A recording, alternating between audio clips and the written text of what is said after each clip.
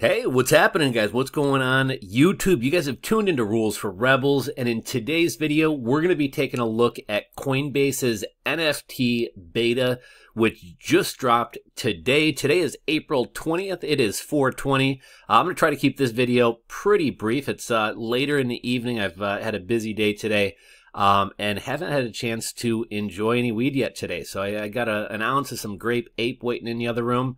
Uh, I'm typically more of a sativa guy, but uh, if you guys like a strain for uh, soreness after the gym or uh, you know something that's going to put you to bed and kind of uh, I know a lot of times as entrepreneurs, uh, you know it's hard to put your mind at rest. So it's, it's a great strain for that. Uh, going, to be, going to be going to enjoy some of that here in a little bit. So we're going to try to breeze through this video. Um, I actually heard about the Coinbase NFT beta dropping today on either Twitter or Reddit. Um, and, uh, you know, normally I set up my exchange accounts on different emails that I don't use for anything else. So they're not really uh, accounts that I check very often. Uh, so I wouldn't have known about this had I not seen it, but I decided to go check that email account. And sure enough, I had gotten the invite. You know, a while back I signed up. I think I'd encourage you guys to sign up when I made the video initially announcing this.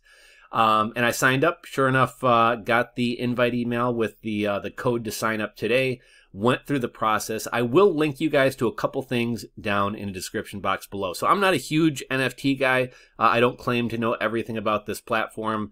Um, I did watch uh, a video earlier that was fairly informative. It seemed like the guy knew his, his way around the platform a little bit. You know, checkboxes signify that it's a, a Coinbase approved NFT or something like that. If you guys know anything more about this as we're browsing around, uh, you know, feel free to drop a comment and uh, shed some light on some things that I may not know about.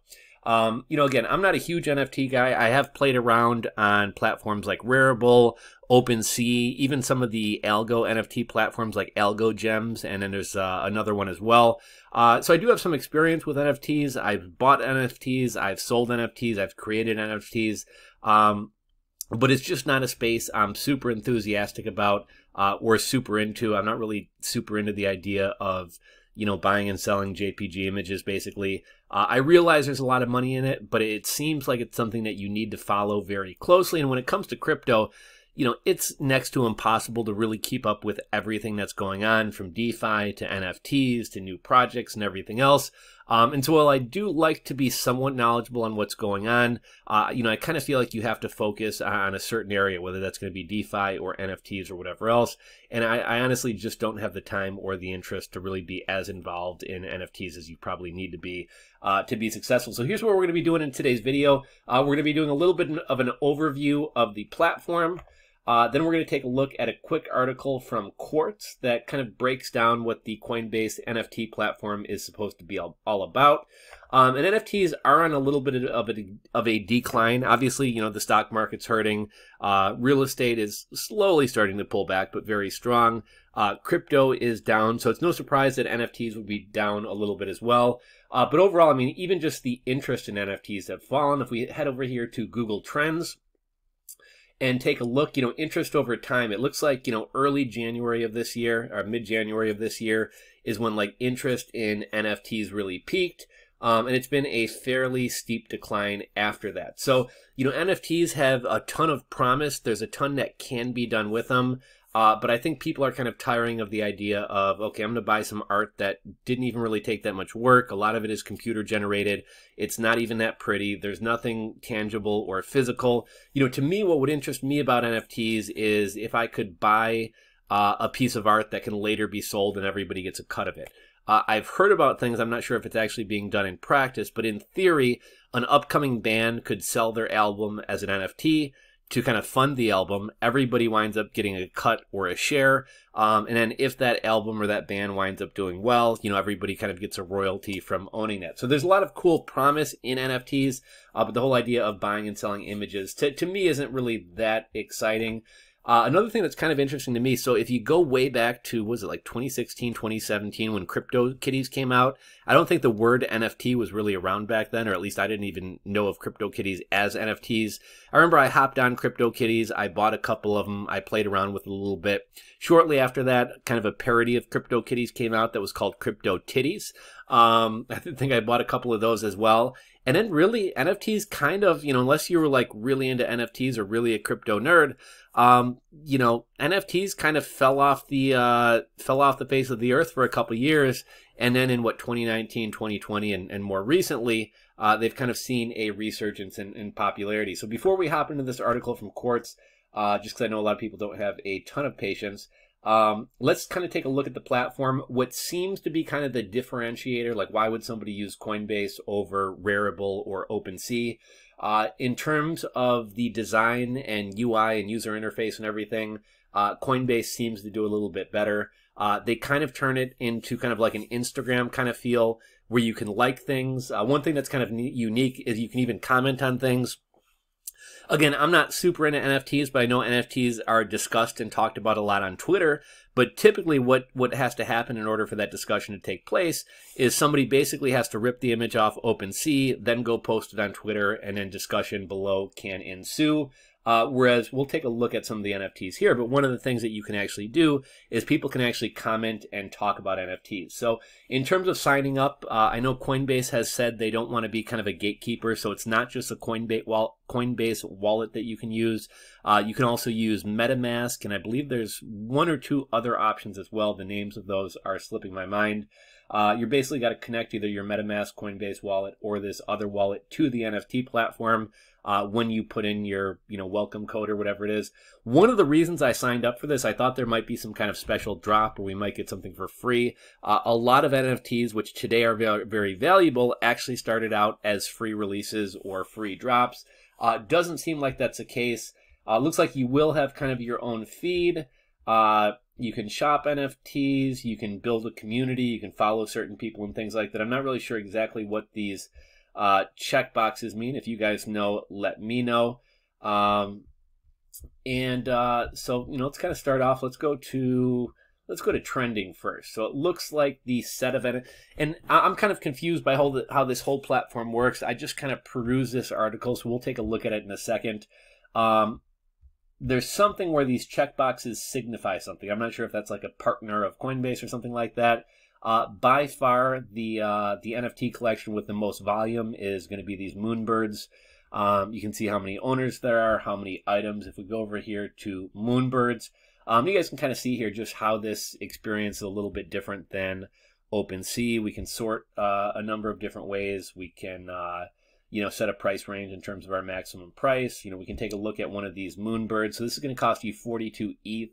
Um, you know, created by Moonbirds, background green. There's some like the metadata there.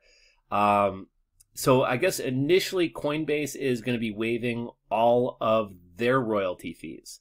Um, so Coinbase isn't going to charge any fees. Uh, you know, if you're buying cheap NFTs, it doesn't really matter. Um, if you're buying more expensive NFTs, you know, I, I, think most of the other NFT platforms charge 2% or, you know, maybe even up to 10% or something like that. Uh, so you're going to save some money buying your NFTs off of Coinbase as opposed to these other platforms. I don't believe you can mint NFTs directly on Coinbase at this point in time. Um, and you will still have to pay gas fees. I know a lot of people have been speculating, oh, is this going to be like a gas free market? I can't think of any way that would happen short of like Coinbase paying your gas fees for you, and that's not going to happen. Uh, here you can kind of see the comments, right? So, um, you know, here's one of these uh, moonbirds, you know, so I can say, uh, you know, this is a cool bird and, uh, and, and post it there. Um, let's see, I always do this with, uh, okay. Sorry, I guys need to be able to hit the back button there. Um, so then we can go to discover um, you know, we can see trending collections, accounts to follow. I, I saw. I think I'm following Brian Armstrong, the uh, the CEO of um, Coinbase. You know, you can see here it's kind of got this Instagram uh, kind of feel to it, and just in terms of like the quality of art, you know, I appreciate good art. I, I appreciate when something actually uh, takes some work and craftsmanship and skill to create. And obviously, even in the traditional art world, where you know you're buying a physical painting or a sculpture or whatever else, you know, yeah, you hear hear about art pieces all the time. That this piece of art sold for you know fifty million dollars, and all it is is like paint splattered on a canvas. So you know, I, I don't think the idea that shitty art goes for a lot of money is necessarily unique to NFTs. That's been around in the real art world forever. Um, but I mean, you know, I, I could create any of these things in Canva in about two minutes. So Um, you know, I just don't necessarily see a whole lot of skill behind the art. I think more than anything, it's kind of the marketing. It's coming up with a clever name, uh, kind of building a collection, um, and then marketing that collection well is, kind of what makes uh, a, particular set of NFTs popular. Uh, but you guys can kind of see how this is like different than OpenSea or Rarible. It's a better design. It's kind of got this Netflix, uh, or I'm sorry, this Netflix. It's kind of got this Instagram sort of feel to it. We can like things, we can comment on things. Uh, very similar to Instagram, and you know a lot of people are saying the Coinbase NFT platform is going to be the platform of you know quote unquote normies. So people who aren't like super nerdy, super techy, super into crypto, this will be a, uh, an easy way for everybody who's on Coinbase to get into NFTs. You know, obviously there's uh, a portion of the crypto world um, who kind of dives into DeFi and explores a lot of different things and uses different wallets and experiments with things and tries out different things. Um, but there's a, a sizable chunk of the crypto space who set up a Coinbase account uh, or a Cash App account or whatever else, bought some Bitcoin, have never bought anything with their Bitcoin, have never interacted with a DeFi platform, uh, have never even sent crypto from one wallet to another wallet. Um, and I think that that's the crowd that this is really going to draw in because it's it's you know connected with your uh, Coinbase accounts. Let's hop over here and take a look at this article. Uh, Coinbase is building its own social network for NFTs.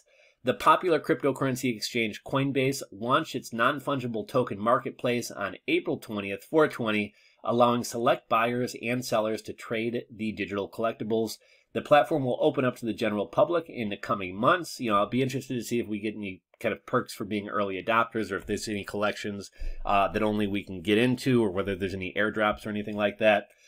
Uh, and at this point in time, again, it doesn't look like you can mint your own uh, NFTs on this platform. Uh, Coinbase's offering is a direct challenge to OpenSea, which has become the most popular website for buying and selling NFTs often collectible digital art since the craze began in 2021. Coinbase, which removed the technical barriers from crypto trading with its easy to use mobile app, enables average users to buy cryptocurrencies like Bitcoin and Ether with a credit card or bank account. The platform has amassed 89 million users. Coinbase now plans to replicate replicate this seamless experience for NFT trading just as Coinbase helped millions easily and safely access Bitcoin for this first time, wrote the company spokesman by email.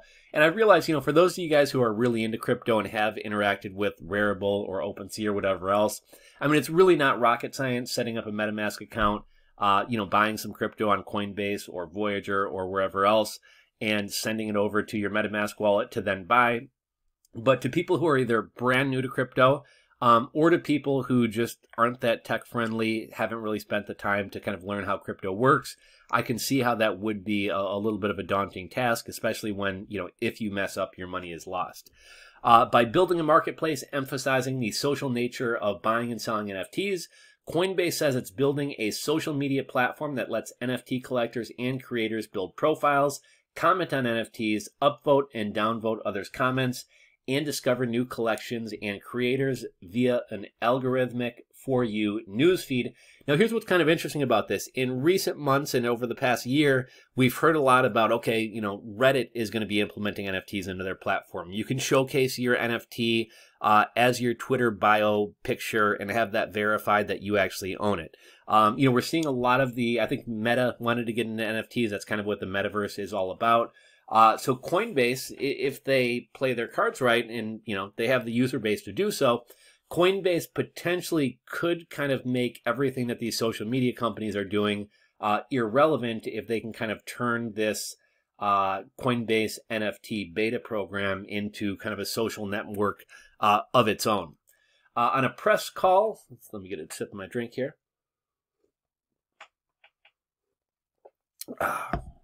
On a press call on April 19th, executives said they don't want Coinbase to be a walled garden and allow users to use any wallet, including Coinbase's proprietary wallet and the popular MetaMask wallet, to make payments and store NFTs. Eventually, taking a low single digit cut, while the platform will only support NFTs on the Ethereum blockchain for now, a spokesperson confirmed that it will integrate with other blockchains in the future, OpenSea also supports NFTs on the blockchains of Polygon, Solana, and Klaytn. Uh, Coinbase also plans to adopt a laissez-faire approach to content moderation, echoing early sentiments from from Twitter's former CEO Dick Costolo, uh, who once said the network belonged to the free speech ring to the free speech wing of the free speech party, as well as Reddit executives who avoided banning hate speech on their platform until 2021. Uh, and I got to say, you know, I'm all for free speech. I, I kind of take uh, Elon Musk's approach in that I am a free speech absolutist. At least for right now, it appears that that's the direction Coinbase wants to go. And this is actually very important because I spent literally hundreds, if not thousands of dollars uh, minting some NFTs on Rarible. Uh, and then Rarible eventually took my NFTs down because they found them to be offensive. Now, they were still on the blockchain, uh, but I had spent hundreds of dollars for each one of these NFTs. One of them was uh, Donald Trump and Hillary Clinton both naked. Uh, Hillary was sipping on some wine with her titties out, looking all wrinkled and haggard. Uh, you know, Trump's cock and balls were hanging out there. Um, and then it was on a background that said like corruption, graft, all these types of things. Uh, and apparently that offended the folks over at Rarible, so they wound up uh, banning my account and taking down all the NFTs that I paid to mint. Uh, so the idea that this is going to be a wide open free speech platform, I think they do say it has to follow the, the laws of the land. Um, so you know we can't have like CP. You know I can't say the word on, on YouTube, but uh, you know kid stuff. You can't have CP or, or you know anything that's against the law on here.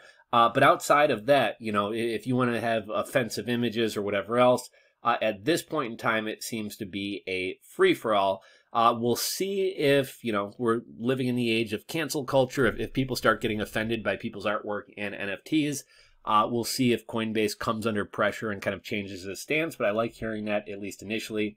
Uh, Coinbase may be forced to develop a more robust site rules and content moderation practices, but for now it says it will follow the law of the jurisdic- jurisdictions it serves and warn, warn users when material might be inappropriate, sexual, or graphic.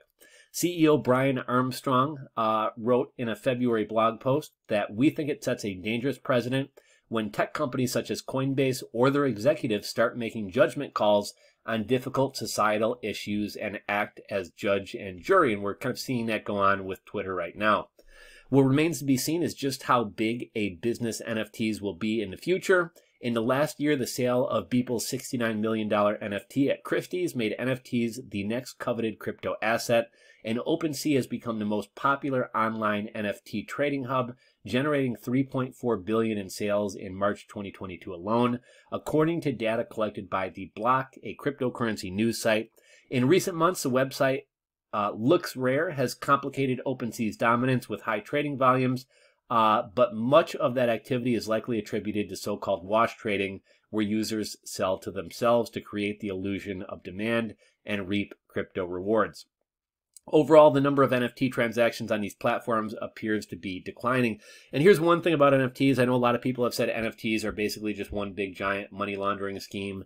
Um, you know, anything with an algorithm can be gamed. I'll give you guys an example. Way back in the day, we're probably talking 2014, 2015.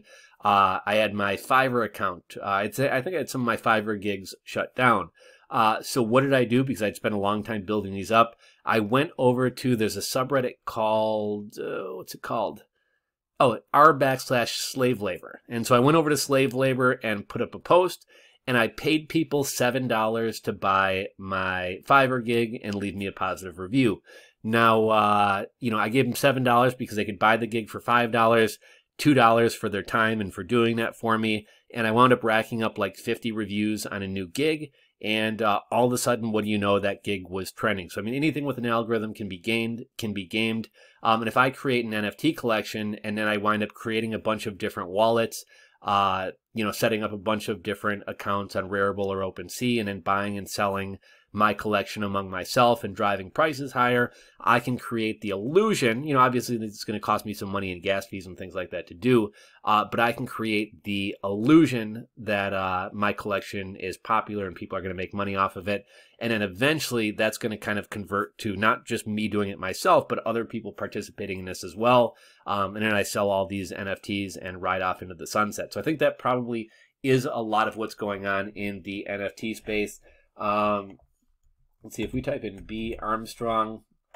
So B Armstrong is Brian Armstrong. That's the CEO of uh, of Coinbase. Um, you know, one of my strategies early on when I first got into NFTs was on Rarible. There was a tool where you could see kind of like I forget if it was trending artists or people who were the most active on the platform, but I would create NFTs and then I would send the NFTs that I created over to them um, obviously, NFTs have a royalty on them, so when they continue to be sold, you know, you as the artist continue to earn a royalty. And I was hoping that these people who are really active and really popular on the platform might wind up selling these NFTs. They're going to have a lot of eyes on them because they are a trending person, they are a popular artist, they do have a lot of NFTs, they're very active on the platform. Um, and then, you know, I can start making royalties that way. Um, worked out a little bit, never really made a ton of money off of it. But here are the NFTs in Brian Armstrong's wallet. Um, you know, again, we can go over to Discover. Let's see the trending collections. I think that's where we were before trending. Uh, Bored Ape Yacht Club, Beans. Let's see what Beans is. So Beans is literally Beans. Um, are these things really unique, or do these all look the same? You know, so six ETH. I, I don't even know what the price of Ethereum is off the top of my head, but that's a, a fair bit of money. I'm not really sure what the what the draw of that collection is. Let's see what else do we got. We got Crypto Punks. Let's see what the cheapest Crypto Punk's going for. The cheapest Crypto Punk is going for 25 ETH. Let's see if there's anything else kind of neat here. Crypto Toads. You know, here's one of the things with crypto. So I like pixel art. I'm not really sure what the, you know, I, I don't view pixel art. Most likely this pixel art was computer generated. I just don't see the skill here. I don't see why, why I would want to own one of these things and even just in terms of the creativity, right? Like it seems like monkeys and apes are really popular in the NFT space. Um, but like nobody's even original. So you know, uh, Bored Ape Yacht Club was really popular. We've then we had like baby monkeys, baby chimps. Even uh, you know, I'm a big fan of JRNY Crypto. Uh, but even him, when he dropped his NFT collection, it was just fucking monkeys. So like, you know, not only is this artwork not that impressive in the first place, but like, is really nobody creative enough to come up with anything besides monkeys?